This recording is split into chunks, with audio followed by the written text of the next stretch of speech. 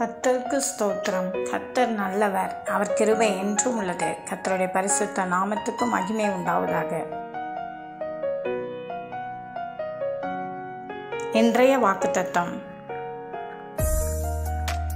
கிறிஸ்துவுக்குள் பிரியமான சகோதர சகோதரிகளை இன்றைய நாளுக்கான வாக்குத்தத்தம் உபாகமம் இருபத்தெட்டு எட்டு.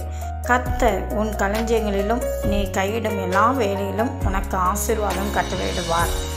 இந்த வசனத்தை தந்த தேவனுக்கு ஸ்தோத்திரம். இந்த வாக்குத்தத்தத்தை நாம் விசுவாச அறிக்கை பண்ணுவோமா? விசுவாச அறிக்கை பண்ணும்போது இந்த வசனம் நம்முடைய வாழ்க்கையில் செயல்பட ஆரம்பிக்கும். கத்தர் என் களஞ்சியங்களிலும் நான் கையிடும் எல்லா வேலையிலும் எனக்கு ஆசீர்வாதத்தை கட்டளையிடுவார். ஆமேன். ஸ்தோத்திரம். கத்தர் என் களஞ்சியங்களிலும் நான் கையிடும் எல்லா வேலையிலும் எனக்கு ஆசீர்வாதத்தை கட்டளையிடுவார். ஆமேன். ஸ்தோத்திரம்.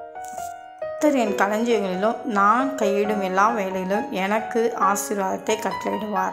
ஆமேன். ஸ்தோத்திரம். தேவன் தாமே நாம் கையிடும் வேலைகளை க ஆசீர்வதிப்பாராக. ஆமேன். God bless you